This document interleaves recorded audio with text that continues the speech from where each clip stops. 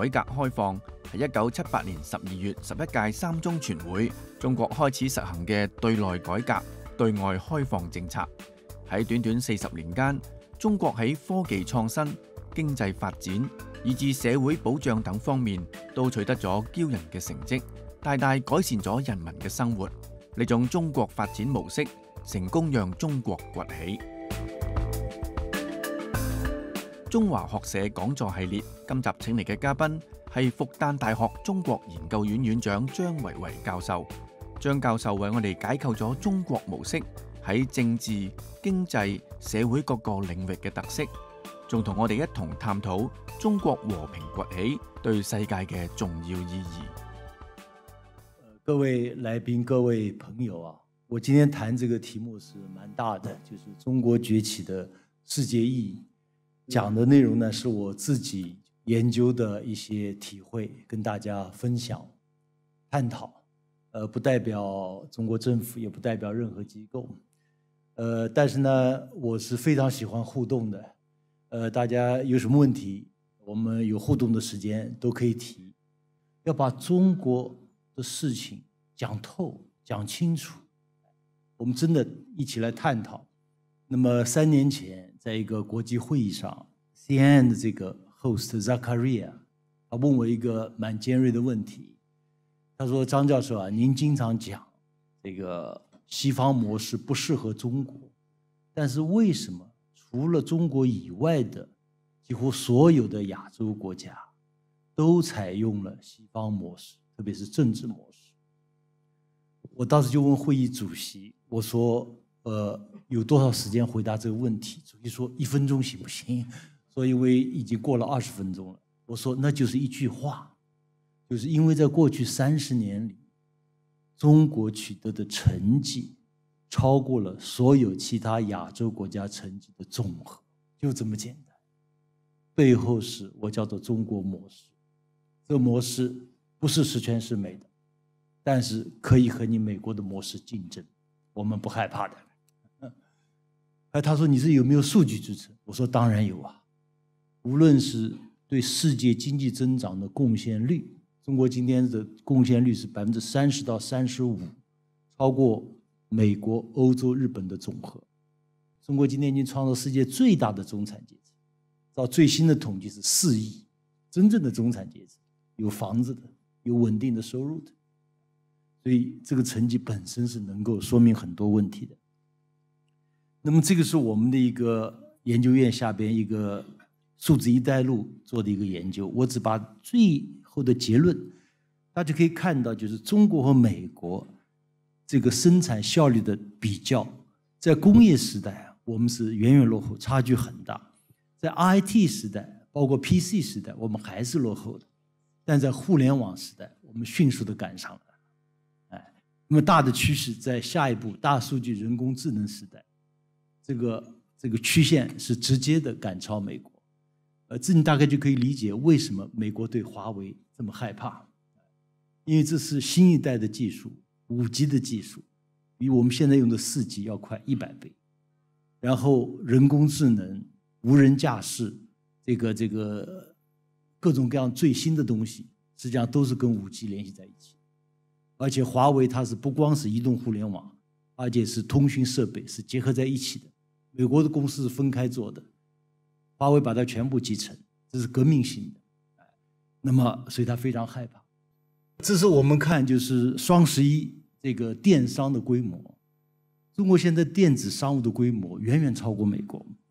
那么双十一单是今年两家公司阿里和京东合在一起，四百五十亿美元一天。超过美国三个节日一百八十六美元，几乎是三倍。背后也是就是新经济的发展。那么回头我们再看贸易战，我觉得这个《纽约时报》这张漫画是蛮能说明问题的。因为特朗普想打贸易战，他把这个炮弹呐、射向中国，想放到这个炮膛里边，但是这个炮弹有一根锁链锁着美国这个 Uncle Sam 啊山姆大叔的腿，就这个炮弹要么是啊打不出去，要么打出去美国自己就是一命呜呼了。所以我觉得这是很形象说明这个问题。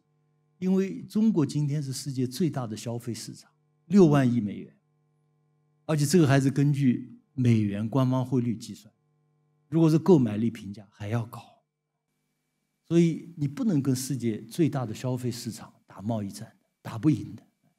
打贸易战对谁都没有好处，这个是肯定的，大家都要受到损失。但我自己觉得美国损失会更大，最终会证明这一点。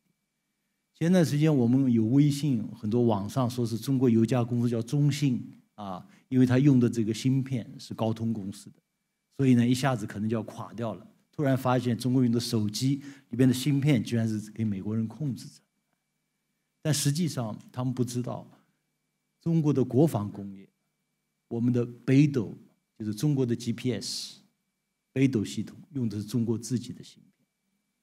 我们的世界最快的高速计算机太湖之光用的是中国自己的芯片，这都是国防产业。因为国防产业它非常警惕，它一定要自主、自主可控，所以它是用自己的芯片。就中国自己的芯片，虽然跟美国有一些差距，但这个差距不是想象的那么大。现在为什么只在国防工业用？因为你产量比较小，所以这个成本很高，但是我们还是用了。这个民间的，除了华为，华为这个任正非是非常有远见的，一直是自己研发，现在是五 G 的芯片领先，这个是了不得的，这是革命性的。现在四 G 的芯片，我们绝大部分公司，包括中兴用的都是美国的芯片。一个重要的原因是，他们把这个芯片看作是普通产品，花钱就可以买到的。没有想到，特朗普居然要把普通的产品变成一个武器化 （weaponized）。我觉得这也是特朗普犯的一个致命的错误。如果你把普通产品都武器化的话，那美国跟这个中国打贸易战是打不了的。为什么？小到螺丝、螺帽、螺钉，中国生产；中到自行车轮胎，美国销售，中国生产；大到这个起重机，波音七三七的尾翼，中国帮它生产；重要到 antibiotics 抗生素。美国百分之九十六是中国生产，这普通产品要是武器化的话，我不知道美国老百姓怎么生活。美国超市一半产品中国大陆生产的，这个是国际惯例，除非打仗发生战争，否则是不应该做这样的事情。所以特朗普他喜欢发推特，你知道吗？他这个说要征中国什么两千亿产品的百分之二十五的关税，我们一看这个名单，我们笑了，这个单子啊，三分之一。这个产品两千亿，中国大陆生产的，要么是中国大陆是唯一的生产商，要么是最大的生产商。你这个最后这个惩罚，惩罚你美国消费者和美国的公司，你必须买我这个产品，没有其他选择的。所以我真不知道他怎么收场，这是我的判断啊。那么怎么解释中国的成功？呃，现在我们看到有这么几种解释，一个呢说中国劳动力便宜。但是现在世界上实际上比中国劳动力便宜的地方多去了，哎，整个非洲，哎，东南亚很多国家，印度都比中国便宜。第二，主要是靠外资，外资是很多，但是吸引外资最多的，特别是人均吸引外资最多的是东欧国家，但是我们没有听到东欧的奇迹。第三，市场经济，市场经济非常非常重要。但是世界上多数国家都是市场经济国家，但是多数没有成功。第四，威权主义，这威权主义是西方来界定的。什么叫威权主义？照西方界定的威权主义国家多去了，整个阿拉伯世界几乎都是威权主义国家，所以也没有多少真正成功的。另外就所谓叫国家资本主义，这个我今年四月份的时候在耶鲁大学做过一个讲座。讲中国模式，他们就说：“你们中国什么时候改变这个国家资本主义模式？”我说：“我先给你讲一个故事。我说零八年金融危机的时候，是你们请中国来帮忙啊，美国政府没有钱了，政府想发发这个这个这个金融产品，要中国来买，说中国带头买，不带头买的话没人买政府的证券。中国经过认真考虑之后买了。我说别忘记，那是中国社会主义在救美国资本主义啊！以我们自己的判断，不出三年，下一场金融危机哦。到时候再发生这样的危机，不要来找中国帮忙。什么是中国社会主义模式？我待会儿进一步解释。这不是国家资本主义。那么今年我们今年改革开放四十周年，我们可以很理性的回头看一下，这过去四十年中国做对了什么？那么我把中国的做法和世界上其他国家做法做了一个大致的对比。我把世界上国家分成三大类，第一类是叫做发展中国家，第二类叫转型经济国家，就是社会主义国家、前社会主义国家，第三类是西方国家。我分别做个对比。那么发展中国家最多是两种情况，一个是全盘照搬西方，我想到的就是菲律宾，就是连宗教信仰、语言、文化全部照搬西方，政治制度、宪法都照搬美国。但是菲律宾曾经是亚洲的仅次于日本的富国，二次大战时候，但现在是一个典型的发展中国家。这种国家最大的特点是什么？这个上层结构，它的国会是跟西方一样的，讨论这个废除死刑啊，那个同性恋的权利等等等等。但底层它是一个非常原始的结构，生产也是非常落后的生产。另外一个就是查韦斯的委内瑞拉，就全面的否定西方，那么也没有做好，特别是没有足够的竞争力，这个制度没有吸引力。那么当时邓小平是怎么决定的？八十年代中期的时候，就我们给他做翻译的时候，很多这个非洲国家的领导都来问邓小平怎么跟西方打交道。邓小平说四个字：趋利避害，就是要跟西方打交道，但是要有警惕，要知道什么东西适合你，什么东西不适合你，哪些是要借鉴要学习，哪些不能学的。所以中国就是一个叫做趋利避害的模式。一个最经典的例子就是全球化。我们现在讲中国是全球化的最大的受益者或者受益者之一，因为多数中国人，包括中国政府都拥护全球化。但你仔细看一看，邓小平当时做了很重要的决定。美国当时推动全球化的时候，他推动那个全球化不光是经济全球化，也是政治全球化。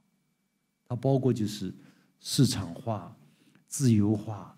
呃，私有化、民主化，哎，当时很多国家信这个东西了，结果呢，确实是出了问题。邓小平说，经济全球化，这个我们是有兴趣的，而且要积极参与。政治全球化，对不起，你管你的，我管我的，啊，这个分得很清楚。现在证明中国这样做是对的，而且记在经济全球化里边，邓小平也非常警惕，就是也是趋利避害。我拥抱市场经济，我拥抱这个 WTO 规则，但是我的资本市场开放要慎之又慎。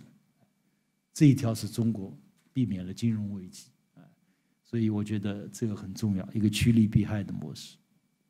那么比较其他的社会主义国家、转型经济国家，呃，主要是两种模式，他们一个是激进的改革模式，最大特点就是戈尔巴乔夫，我们叫休克疗法；一个是。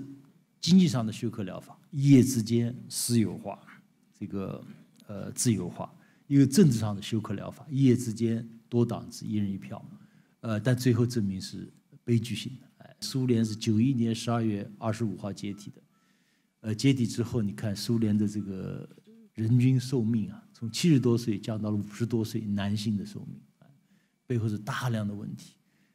但即使那个时候，俄罗斯的经济规模比中国还大，苏联一九九一年底的时候，但今天俄罗斯的经济规模只相当于中国的一个广东省，背后就中国经济的飞速的发展，这中国的六分之一到七分之一。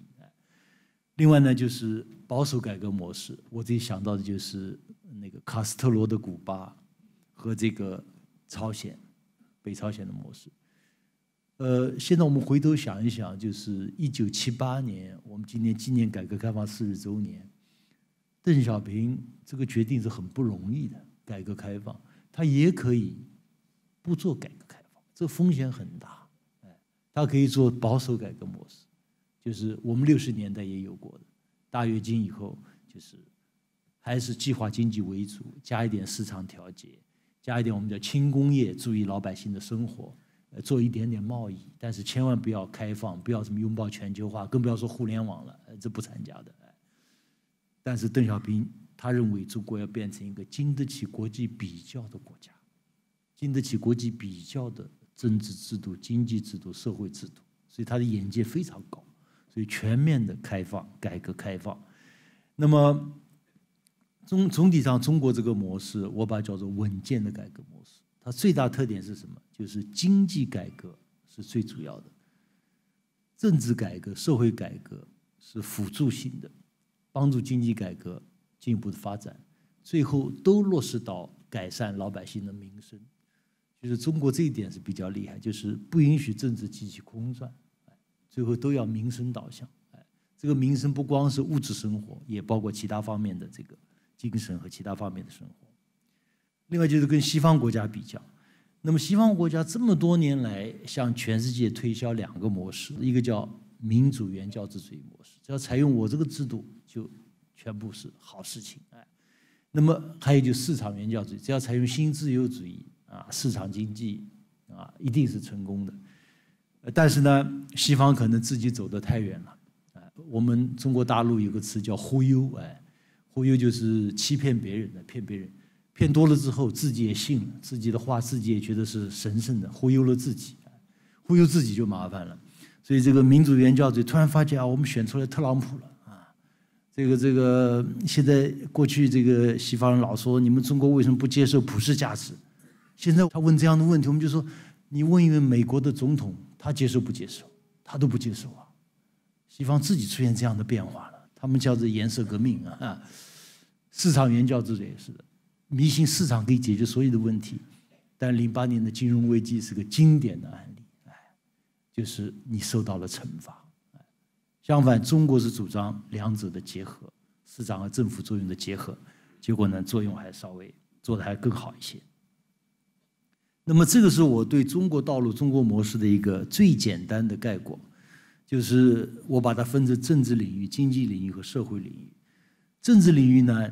这个叫做有一个代表人民整体利益的政治力量，这个非常非常重要。呃，在中国就中国共产党，应该说到今天为止还是做到的，代表绝大多数人民的整体的利益。你这可以比较的，就是我当然还要进一步的有一些比较。现在多少西方国家有一个力量可以代表人民整体利益？找不到，美国找不到，英国也找不到。第二呢，就是如何产生国家领导人，它是选拔加选举，选拔放在第一位的，英文叫 selection plus election，这个明显的比光是靠 election 要好，因为你选拔你是有标准的，我们只要看中国最高决策层这个，比方说中共中央政治局常委的这个条件，基本上多数啊是两任省委书记、省长，就一个省的第一把手。就你粗粗算一算，大概多数都治理过一亿人，然后才可能进入政治局常委，否则是不大可能的。这是个多数大概率的事件，也就是你要经历过大量的实践锻炼。像习近平是三个省当第一把手，浙江、福建、上海，然后才这根据的 performance，你才拿到这个 qualification。就中国人的概念，我觉得是对的。就你当领导人，你要有 qualification，要有资质。这个概念是非常重要的。西方现在这个狂一人一票不需要资质，就我想起当时柏拉图，呃，古希腊的大哲学家，他说的这个：如果我生病了，我找谁来给我看病啊？我当然找一个经过专业培训的、实践证明优秀的一流的大夫来看病。我怎么会去广场上随便叫人家选一个人帮我看病？这不对的。他说治理国家。比这个大夫看病要复杂一百倍、一千倍，我怎么把这个重要的事情就交给广场上的人呢？对不对？这个概念跟中国人过去立场的概念是一样的，我们叫科举考试嘛。哎有教无类，官至宰相，只要你考得好，你必须有证明你有能力。在经济领域，我们中国模式是混合经济，我刚才简单介绍了社会主义市场经济，政府的作用、市场的作用、国营企业的作用、民营企业作用、私营企业的作用，它是混合的。我不是说这个模式十全十美了，我们的模式有自己的问题，我们天天在讲改革，但是我们这个模式是一九九二年正式提出来的，现在是将近三十年过去了。中国是世界上唯一的没有经历过金融危机、财政危机、经济危机的国家。我们经历过很多困难，但是没有到危机的程度。而且最大的是，多数中国人的财富在过去二十多年中。爆发性的增长，而西方国家多数人的财富百分之七十吧没有增加。我们的同班同学这么多移民到美国去了，今天回到上海，大部分都是穷人，这是翻天覆地的变化，都没有想到，就留在上海的更加富裕，这个就很简单的道理。那么社会领域就是政府与社会的。良性互动，这个是比两者的对抗要好。那我就要把中国事情说清楚呢。我们觉得需要解构西方话语，建构中国话语。这是我提出来，就是要建构全面的、透彻的、强势的中国话语。什么叫全面？就能够解释中国的成绩、中国的问题、中国的未来。什么叫透彻？我们现在有些这个，我们真的官话太多，套话太多。哎这是很大的问题，不要这些东西，我们就讲人话，讲真话，把事情讲清楚，没有那么复杂的。哎，另外强势，因为西方质疑中国的话语是非常强势的，所以我们要强势的回应。那么我觉得是可以把中国的事情说得清清楚楚。下边我想通过这么七个案例，来把大家可能最关心的一些尖锐的问题，来做一个呃解构和建构。第一个就是政治范式之争。那么在香港，大家也知道，西方的主流话语这个范式很简单：民主还是专制？民主呢是西方自己界定的，基本上就是多档次，一人一票。哎，那么我给大家讲个故事啊，就是二零零八年的时候，呃，在中国发生了一个汶川地震。那么那一年呢，我正好到印度去讲学。印度那年发生了一个恐怖主义事件，就是孟买一波恐怖主义者啊，很大的一个事情，呃，就是占领了火车站，占领了医院，占领犹太人文化中心。但是印度精锐的反恐部队花了十一个小时才抵达反恐的现场，所以印度舆论哗然，觉得这个太丢脸了那么我在那做访问学者。呃，我讲中国模式，讲完之后呢，他们就互动，就有一个人就问我说是，呃，如果中国碰到这么大的这个恐怖主义袭击，中国会怎么样的一个应对？后来我说，呃呃，我们还没有碰到这么大的这个恐怖主义袭击。后来新疆有过啊，当时还没有。但我说我们零八年我们有一个这个汶川地震，我说我们的领导人是两个小时。就坐上飞机，比你这个部队还快啊！我们的这个呃医疗队，我们的军队二十分钟就开始动员，我们的这个就是医疗队三天之内覆盖所有的村庄，那是山区啊，是城市哎。呃，后来下边一个教授，呃，他觉得好像我的回答他不太满意，他说：“你是不是想证明啊，专制比民主更有效率？”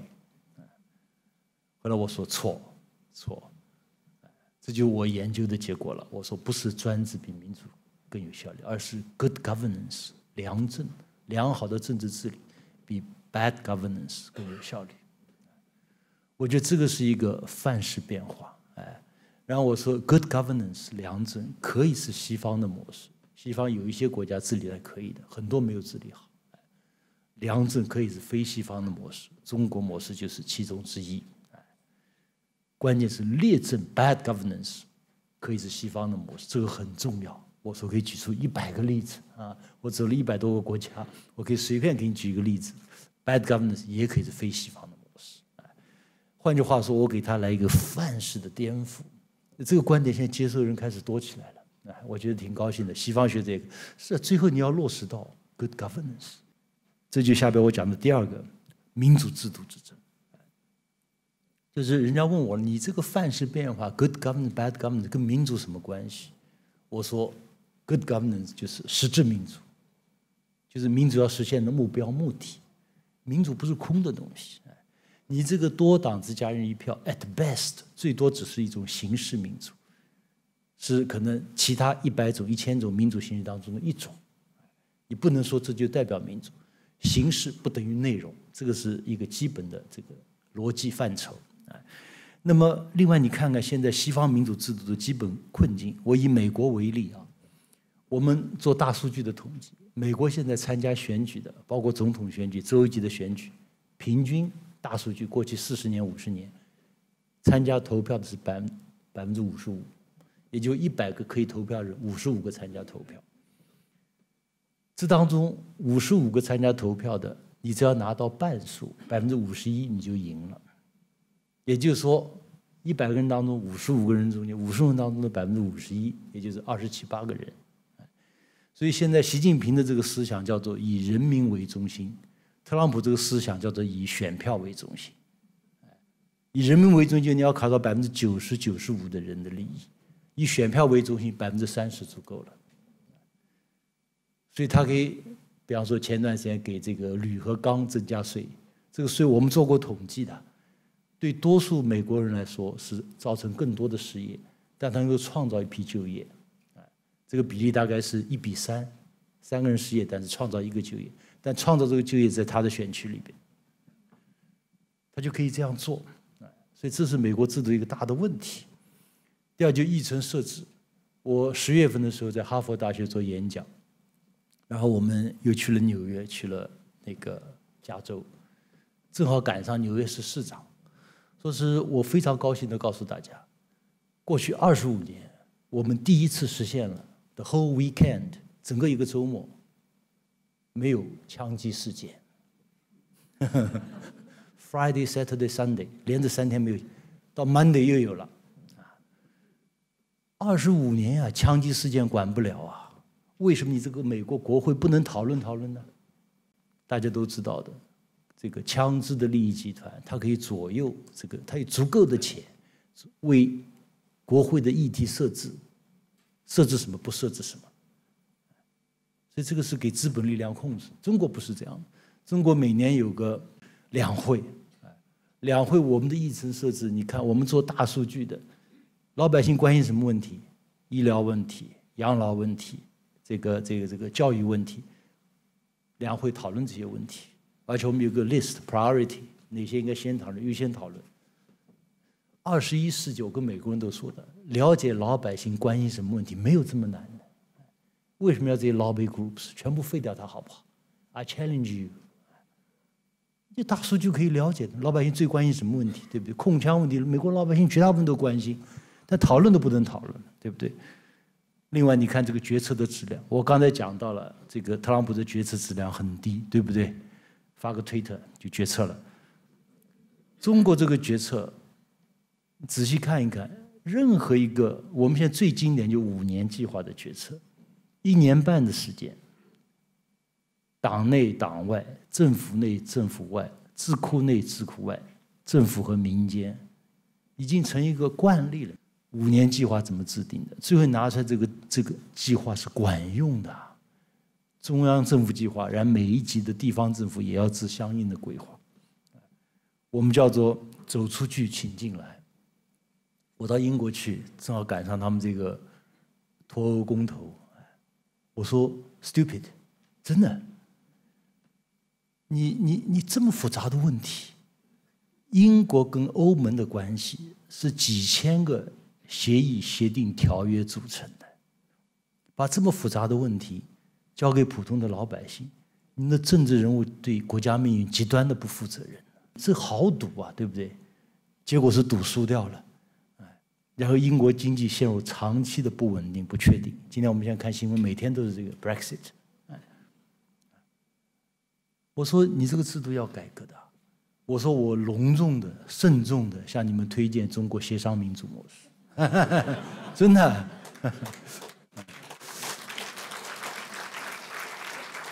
我说你这个赞成脱欧和反对脱欧只差百分之三，对不对？百分之三，这个协商民主很容易解决的。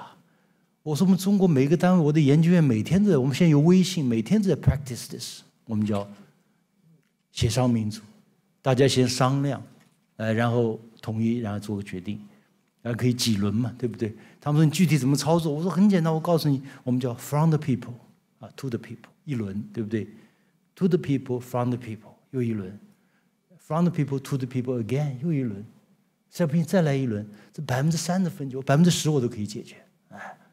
这是很容易，没有这么复杂的。但讲句老实话，这个东西啊，你跟英国人讲了，他也做不到。为什么？因为协商民主这 consultative democracy，它有一个力量，大家公认能够代表多数人的利益，然后才能协商，否则没法协商。哪个政党来协商，我都不服气，对不对？但是呢，这个软实力就是你要讲，对不对？让他羡慕，可望而不可及也没有关系。但是讲还是要讲，哎，我觉得要说清楚。但我们真的是这么做的，哎，没有这么复杂的，哎，呃，这个是真的是中国今天这个整个社会的一部分，每个单位都 practice this consultative democracy。那么，另外我对西方民主制度的这个结构，我多次讲过这个观点。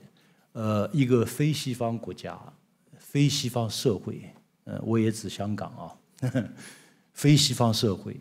如果采用西方政治制度的话，两种结局：从希望到失望，从希望到绝望。我这个台湾我也讲过，我是跟早就说过了。这个这个，我走了一百多个国家，我可以跟任何人辩论这个问题。那么背后就是我觉得三个基因缺陷，我们要非常谨慎的。第一个是他的预设人是理性的，每个人可以通过自己的认真的思考投出庄严的一票。所有社会学、政治学研究证明是不可能的。现在有几个因素，一个是金钱的卷入，你只要做广告就知道了，对不对？砸钱多少钱，什么效果？第二，现社会新媒体 （new social media） 的卷入，这个是为什么现在西方民粹主义非常厉害？因为 new social media，人家不看 BBC，不看 CNN，看 Facebook，看 Twitter，这个来以后，这就不可能真的是。呃，理性的决策越来越难，对理性决策挑战越来越大，所以要承认大量的非理性的问题。第二，就把权力绝对化了，权力跟义务一定要平衡的。哎，美国是这个权力之间打架最厉害的国家。另外，就程序是万，只要程序正确，什么都对。我还是以英国脱欧为例啊，你看英国脱欧，大家有没有看到谷歌的调查？他说：“英国人投票了，referendum，然后第二天早上起来离开欧洲了。然后谷歌做了一个当天的这个 survey，那一天英国人搜的最多的词是 What's the EU？啊，欧盟是什么？多少根本不懂什么叫欧盟就投票了，哎，被政治人物一忽悠，啊，就就就就就就马上就信了。啊，我们为什么给欧盟交这么多的会费？这会费我们不交了，给大家发发养老金不是很好吗？”对不对？这这老百姓真是被容易忽悠的，真这么回事情。你有广告，有 social media 这些东西。第二，权力是绝对的。欧盟非常紧张，这个这么大的事情，英国人就这样做了，带了个坏头，然后人家都要离开欧盟了。但英国人有权就傲慢嘛，对吧？就是任性。我这是我的权利，你不要管我。程序是万能的，这么重要的一个决定。居然简单多数百分之五十一通过就可以了，这致命的一个程序设计错误。哎，后来我就跟英国人讲了，我说你们要好好改革啊，政治改革。我说否则怎么办？我挺替你们担心的啊。我说我是做政治研究的，我敢预测中国未来十年。我说您敢不敢预测英国未来十年？我把这问题问的再直白一点。就是十年之后，如果你不进行这个政治改革的话，你大不列颠会不会变成小不列颠？真是这样的。呃，苏格兰要独立，啊，北爱尔兰要独立，现在伦敦说他也想独立，啊，这个这个制度玩不下去的。在两千五百年前，在古希腊一万人的这个所谓叫邦共和国，那就是我们中国的一个村啊，呃镇哎，这个规模，你搞一人一票啊，决定这个人判什么刑，这是可以的。到二十一世纪了，这么复杂的技术、这个科技、社会，你去做这么简单的决定，这是极端的不负责任啊！我觉得这是非常之落后，非常之落后。第三个就是政党制度之争，那么这也就我讲的要把中国共产党说清楚。中国共产党跟西方政党是不一样的政党，虽然都叫党，党这个词英文叫 party，哎，欧洲的语言都叫 party，party，party 这个词的词根就是 part，就部分。所以西方政党理论说简单是很简单的，就是一个社会不同的利益团体组成，就是 part，part，part，哎，然后呢？每个利益团体都要有自己的代表，这就是多党制的起源。然后呢，通过票决制，你是百分之五十一，我百分之四十九，你赢我输。前提是法治，你要接受这个东西。你比如多一票，多一百票，我得接受。哎，但是呢，中国不是这样的传统。为什么？因为我把中国我叫做文明型国家，我待会儿会进一步解释。就这个国家是历史上成百上千个国家慢慢整合起来的。中国叫十里不同音啊，区域概念非常强。你古代你追一追都是像我们上海这一带，江苏古代叫吴国，哎，浙浙江叫越国，这个越国把吴国打败了，然后楚国又把越国打败了，哎，然后秦始皇把这全部打败统一起来。你再往前追都是这样，一个个小国家。这个成百上千国家慢慢整合起来，我叫文明型国家，一个没有中断的古老文明和一个超大型的现代国家，我叫百国之和。这个国家治理的逻辑非常简单，古人都懂的，就是统一的执政集团。如果我们也采用美国这种英国的部分利益党的话，这国家明天就解体，它就变成有上海党、无锡党、常州党、石家庄党、北京党、天津党。然后就打仗嘛，就很简单的，这道理非常简单。辛亥革命之后我们试过的，当时有三百个政党，结果国家就乱掉了。所以这是个常识判断。而且过去两千多年中，从秦始皇统一以后，多数时间，中国是比欧洲远远的领先和发达。到郑和下西洋的时候，那是明朝，我们的十五世纪上半叶，郑和那个主力舰的排水量。是哥伦布发现美洲大陆那个圣玛利亚号的一百倍，背后就是这个工业能力不能比，我是远远领先，不是一般的领先。所以今天实际上共产党还是这个传统的延续和发展，统一的执政集团。那么合法性的来源有两个，一个叫做民心向背，这个很重要。这孟子的观点，你仔细看读孟子，他把民心和民意他做了一个区隔的。民意翻成我们今天的话就是 public opinion，这个在互联网时代是一个小时前后都会变化，但民心是个相对稳定的东西。我们今天政治学的语言就是一个国家、一个民族整体的长远的利益，它不可能随时变来变去。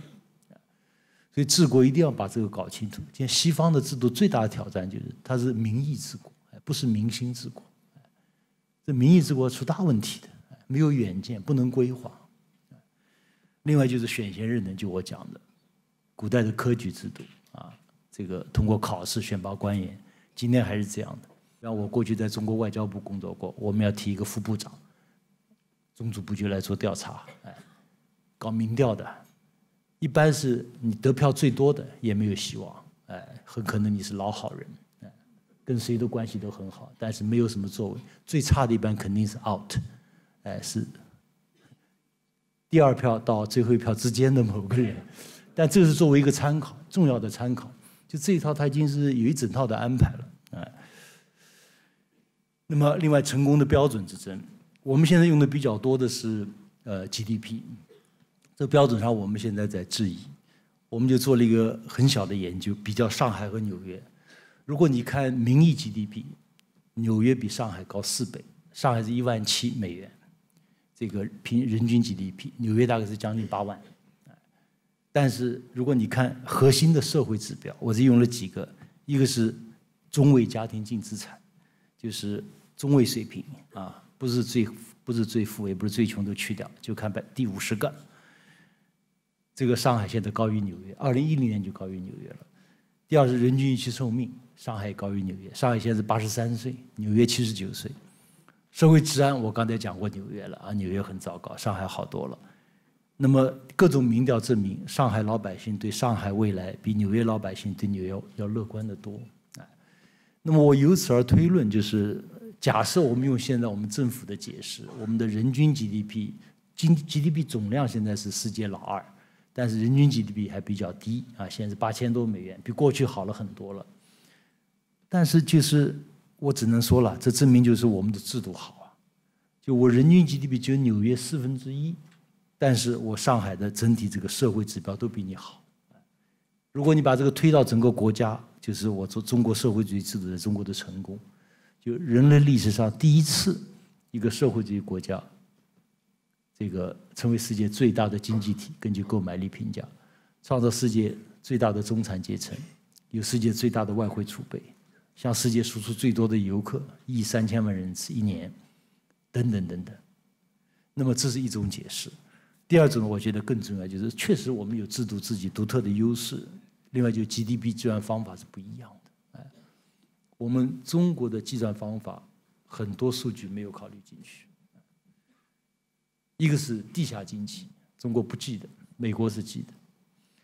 第二是这个街头我们小贩经济，中国是不记，我们叫放水养鱼，哎，这个是不进入统计范围。美国是记的，哪怕是在纽约。买糖炒栗子啊，推个车进入统计要交税的，中国这些都不进入。还有农村大量的活动没有进入统计范围。还有这个就是最大的一个差别是什么东西？就是它是照 market value 来统计的，在中国中国的社会服务这一块，从这个呃医疗医院到养老到这个律师服务这一块，这个这美国比中国多二十倍、三十倍、四十倍哎。因为它 market value 高，中国相对价格便宜，所以这些造导致了这个就是统计的误差，呃，否则不会上海不可能领先纽约这么多的，哎，所以我们曾经建议过，能不能就是按美国的标准，呃，把上海一个区拿出来，或者拿出一个小的城市，我们做个试点，重新统计一下，哎，呃，后来没有被采纳。我们国内有个说法叫做坚持发展中国家一百年 不动摇，嗯。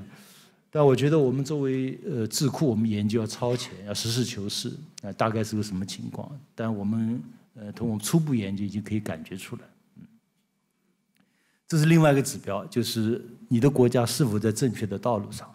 这个是一六年 Ipsos 做的一个民调，英国的公司。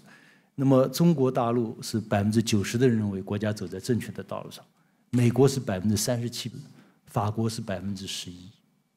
所以就可以理解为什么法国现在有这个叫什么黄马甲运动，哎，背后是长期的多数人对国家发展的方向不满意，而且这个数据，呃，我老说就是大家可以看几个大数据啊，这个是 Ipsos 的，还有一个就 PEW P U 中心的，哎，还有叫 Asia Barometer 也是每年的，还有一个中国大陆自己叫零点公司，一个民营的机构，你把这四个大数据大的指标。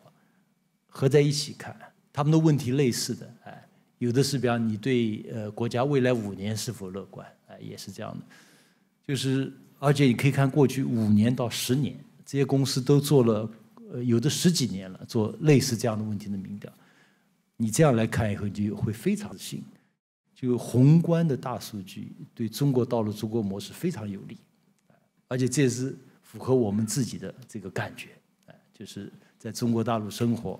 你的自己的感觉，所以我们是比较自信。另外，国家性质之争，这我简单做个介绍。我的核心观点就是，中国不是不是一个一般的国家，不是一般的民族国家，是文明型国家。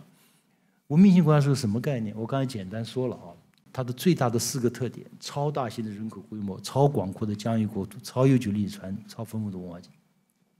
中国人口多，大家都知道，但不是一般的多啊。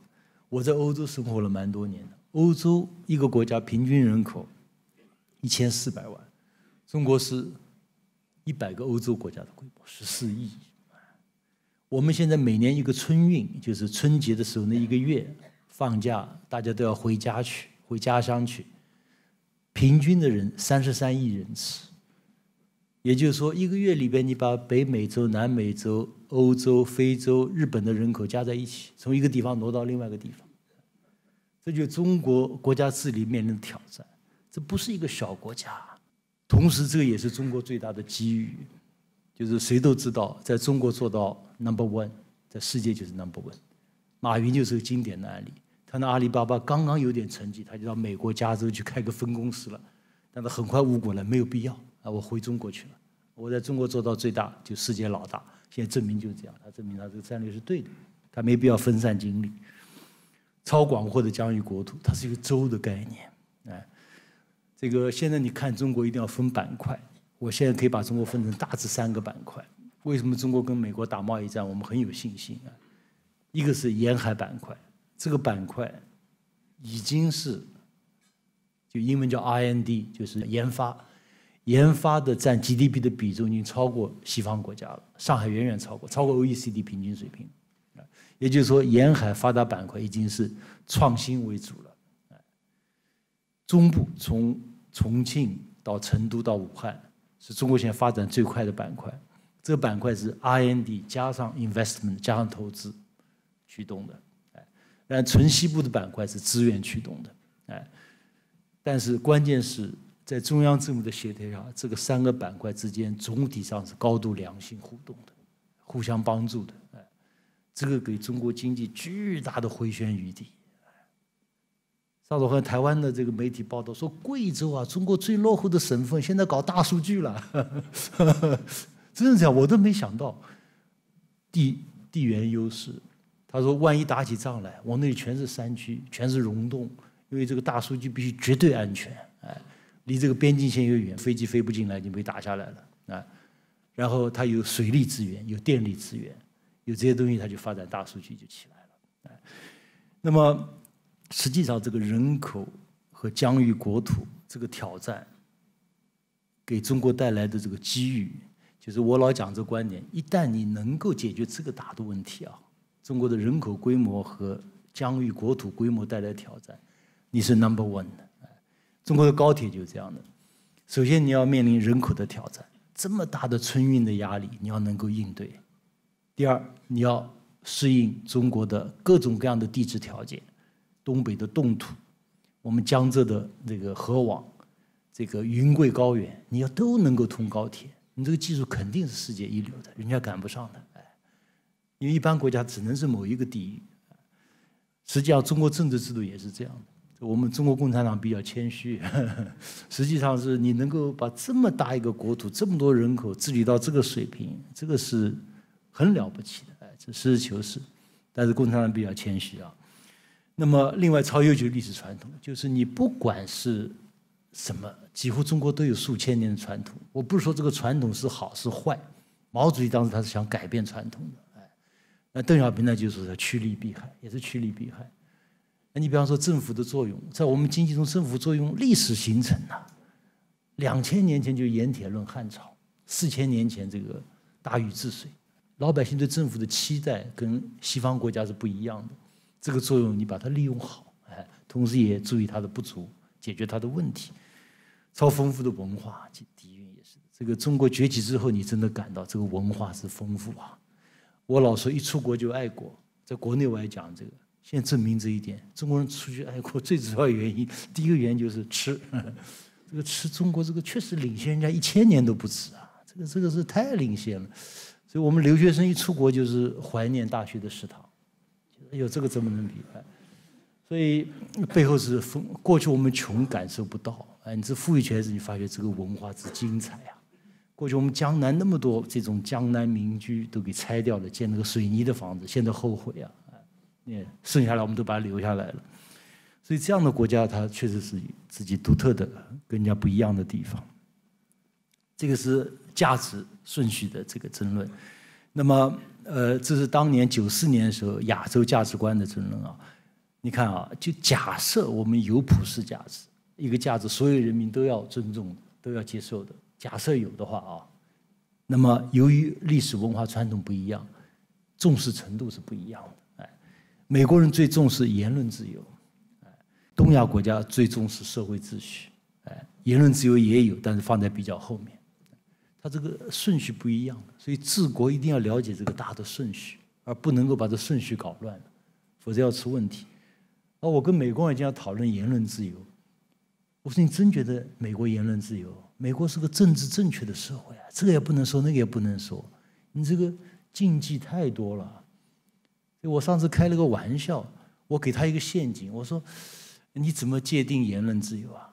他言论自由想说什么就说什么。那我说中国这个言论自由比你多去了，不知多多少倍了啊。我说给你举讲个笑话啊，我是五零后啊，我们这个老同学见面了，四十多年没见面不认识了。我看这个老同学头发少了，我说：“哎，老兄啊，怎么这个谢顶了？在中国是可以开这个玩笑的，在美国是不行的。这个叫做基于生理缺陷的歧视，哎，真这样的。这个限限制太多，谁都知道的。哎，比方你知道纽约哪个族裔犯罪率比较高，你不能说的，他不，这个说要出大问题的。”所以这个无非他就说我可以这个批评骂领导人，我说这骂就不好了。我说你这批评是可以的。你看我们的，我们现在每天中国人是微信民族啊，每天这个信息是三十亿条啊，这边多少是批评政府的，太多了，哎，这个没有问题的，所以这都可以讨论，实事求是讨论。最后一个案例就是网络治理之争，那么这个很有意思，互联网出来之后。美国是公开的把它作为一个政治工具，推翻不同的政治制度，它叫 regime change，高度的政治化，全部都政治化了，哎，结果没想到就是啊，选上了特朗普，特朗普的这个支持者，他是不看《纽约时报》的，他是不看 CNN 的，看推特、Facebook 的，哎，但中国不是的，中国是这个。呃，民生导向，习主席特别强调，互联网发展要使人民的生活更加便利，啊，所以就有了我讲的，就是一天的这个一这个这个这个网购超过印度一年电子商务，还有的人就质质疑啊，说是你们中国老说这个自信，但是我到中国这个不能上谷歌，不能上 Facebook，你们怎么自信在什么地方？我说我给你讲一讲，这个问题没有那么复杂的，哎，我说我们是有个防火墙。这个防火墙是没办法的，哎，我说你们西方软实力现在比中国还强，如果我防火墙一点都没有的话，那你可以想叫十三亿中国人讨论什么问题就讨论什么问题，我可以为你设置议题，就西方的本事啊，软实力的本事，这是不行的。中国是十三亿人大国，我们自己好多事情要讨论，对不对？我们要讨论这个啊，统一台湾啊，我们要讨论这个这个呃十九大的很多这个决定，好多事情要讨论。这个议题一定要自己设议程，setting the agenda，这是没商量的。我是个大国，我一定是自己。第二，我说 huge economic interest，巨大的经济利益。现在我们看得出来了，背后是过去欧洲人笑我们说你们的谷歌都上不了，现在他们笑他们自己了啊。一个是谷歌带来这么多的垄断问题。第二是欧洲在下一个竞争是大数据的竞争，大数据在现在已经变成石油了，跟工业时代石油一样，在大数据时代就是大数据。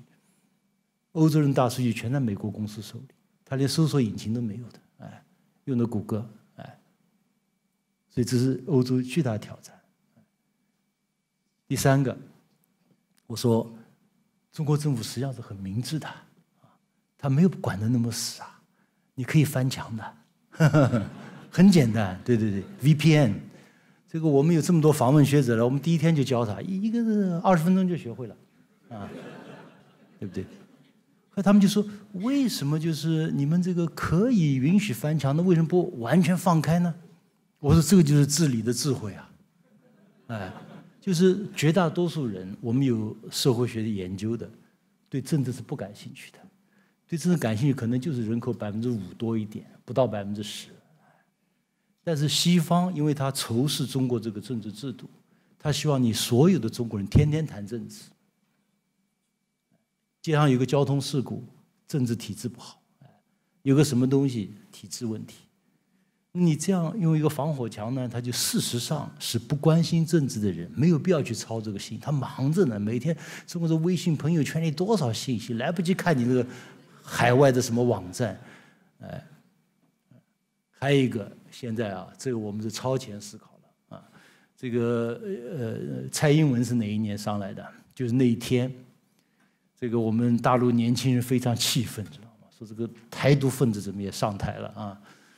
然后有个叫“第八出征”，是个年轻人的网站，说我们这样吧，我们集体翻墙。呃，台湾不就是两千三百万人吗？我们今天晚上两千三百万人一起网民对台独发动进攻。他就翻墙就发动进攻啊！台湾的政府网站全部攻陷。就我们现在网民主要是九零后啊、九五后啊，他们是高度的爱国啊。所以这个我坦率说，中国政府都没有准备好。要真打这种战争的时候，就网络这个这个攻击啊，大概除了美国可以对付，其他国家我们的网民一弄个几千万来，日本也受不了，韩国也受不了，法国、德国也受不了。我们真的没有做好准备。外交部到怎么解释，对不对？呃，等等，这些东西就要超前思考的，哎，所以真的，现在有人说这个防火墙是防中国人自己，怕你出去给人家找麻烦，呃，但不管怎么样，这个问题是就是实事求是，是可以说得很清楚的，没有什么了不起，而且我们是向前看的，随着五 G 到来，也许这个墙真的是没有必要了，哎，这信息，但背后就是要把这事情说清楚。最后就中国和平崛起的世界意义。那么第一点，中国已经是世界最大的经济体，根据购买力评价啊，已经是世界最大的消费市场。第二，是我自己的预测，就十年内中国中产阶层人口将是美国人口的两倍。就美国是三亿多人，我们中产阶层可能要接近七个亿。呃，中国到现在实际上已经基本实现了全民医保和全民养老。哎，这个是很多人不知道的事情。哎，虽然这个各个地方的水平参差不齐，但是这个已经基础已经打好了。第四，这个是实际上是蛮了不起的。尽管很多人抱怨中国的房价高，但是多数人都是有房子的。哎，百分之城市百分之八十五，农村是百分之百。呃，中国住房自有率这个是蛮有感触的。我们改革开放刚开始的时候，上海的人均居住面积非常少，是四平米。四点三平米，啊，现在是三十七平米，这就是翻天覆地的变化，大家当然感激改革开放，啊，那么另外呢，就可再生能源，中国现在是最大的投资者，那个产量也是最高，无论是风能、太阳能，呃，电动汽车，呃，在电动汽车，中国可能也叫弯道超车，就这一代我起来之后，可能是我来制定标准了，哎，新工业革命的领跑者，我刚才讲过了。五 G、大数据、这个 AI、人工智能，如果大家特别感兴趣，建议去雄安看一看，就看看我们习近平主义怎么规划的，就提前二十年、三十年布局。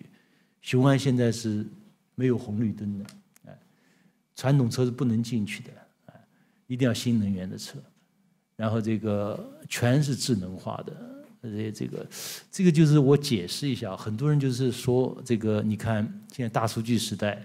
蛮恐怖的，我们没有 privacy 了，哎，就是大数据时代，用一句白的话讲，就是世界是透明的。过去我们讲世界是呃平的啊，世界是透明的，但是呢，呃，我们现在就是也实事求是进行研究，因为有这个这个 blockchain technology，就是实际上理论上你也可以知道你的信息是谁用过了，理论上都可以做到的。